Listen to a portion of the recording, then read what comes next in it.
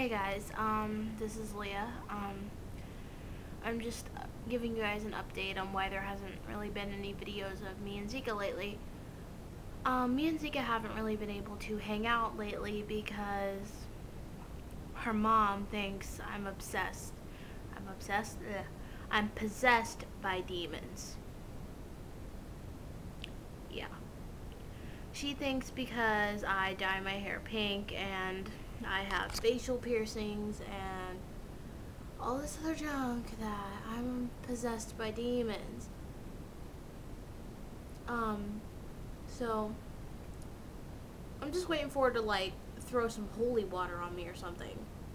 You know, it's not gonna do anything because I'm not possessed by demons. But apparently, she thinks it's gonna do something. I'm sorry I look like shit. It's like 4:30 in the morning here. But um, I just figured I would um, let you guys know what's going on.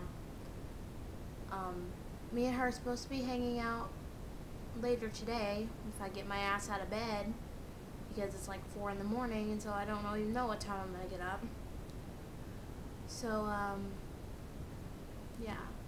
We are going to be making some videos next time we get to hang out, which I don't know when that's going to be because her mom thinks I'm possessed by demons because of the way I look, which is really stereotypical. I really hate that. You shouldn't stereotype someone by the way they look, but she's doing it.